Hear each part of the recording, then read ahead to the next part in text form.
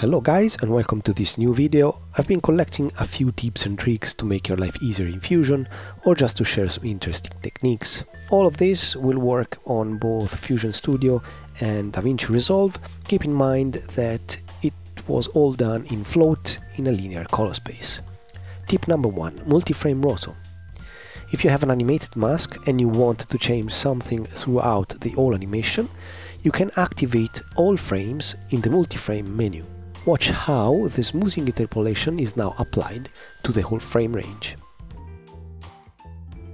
Tip number 2. Fast point selection.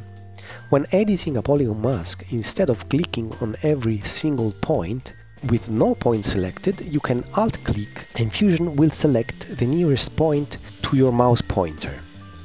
Holding down Alt will also let you move the points.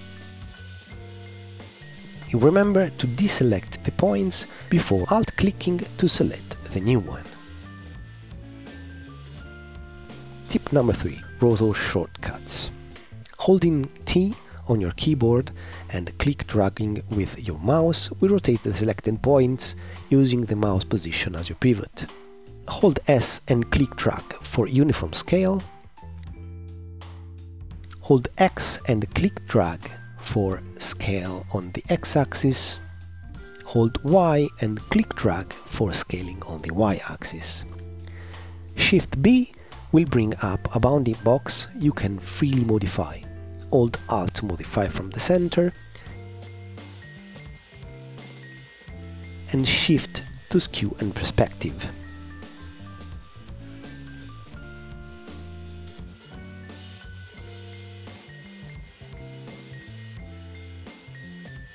Tip number 4. Word by word. I've seen this one popping a lot online. In Fusion to create text animation, you rely on the follower modifier most of the time. By default, there's no way of animating position of words instead of characters. But there's a workaround for that. Add a follower modifier to your text and move to the Transform tab before going into the follower. Select Words in the Transform drop-down menu and move into the modifier and do the same.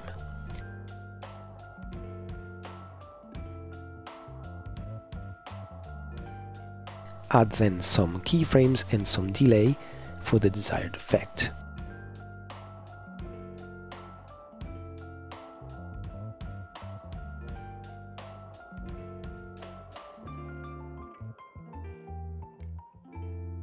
Now all you have to do is move back to the Text Plus 2 in the Transform tab and move the pivot so that the text ends up out of frame. And there you go, you have a word-by-word animation. Tip number 5. Paint Overlay. Sometimes when you're painting out stuff using the clone stamp, you may need to be able to see where you're sampling from.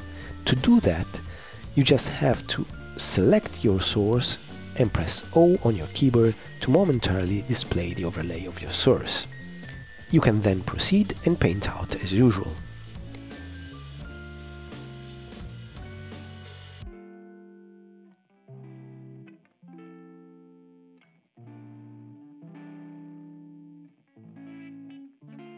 Tip number 6. Paint on transparent.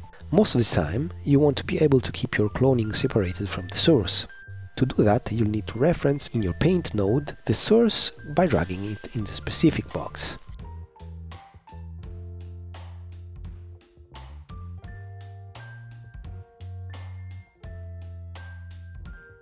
This leads me to tip number 7, opacity. More than often, people merges his footage on a transparent background and uses the blend as an opacity control.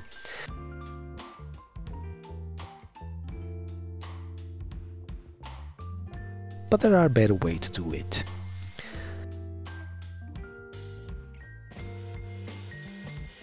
The first one is using a brightness contrast, activate the alpha in the affected channels and use the gain slider as an opacity control.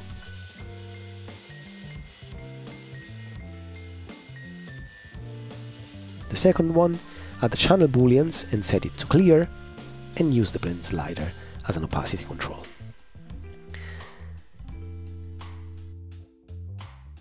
Tip number 8. Invert with alpha. If you need to perform an inversion operation, you'll want to use a channel booleans. Setting the alpha channel to do nothing will prevent the alpha to be inverted. Most people get confused by the output of the channel booleans. All you have to do is add an alpha divide before the channel boolean and an alpha multiply after it.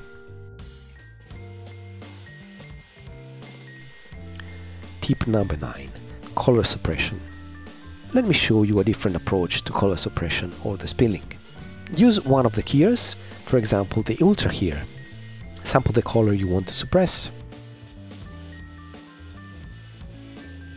and add a brightness contrast and remove the saturation. Make a copy of it.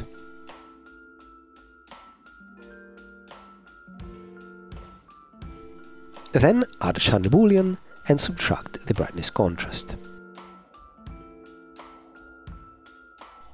Now add another channel booleans and add the previous result of the second brightness contrast.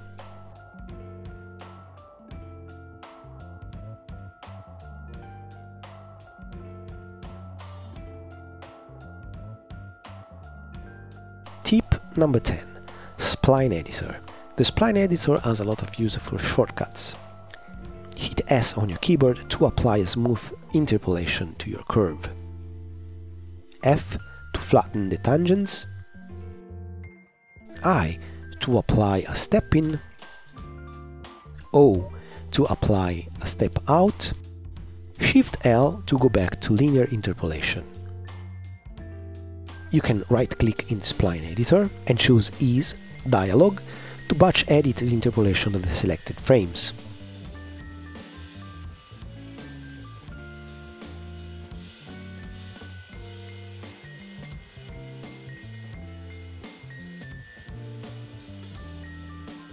Pressing T, you'll access the Ease controls.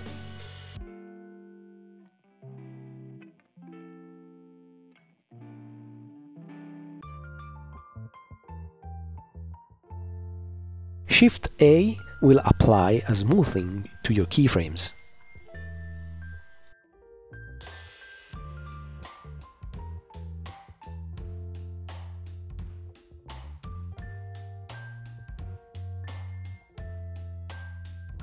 Shift B will bring up the bounding box. I think this is a wrap for me, uh, so thank you very much for watching and see you in the next one. Bye bye.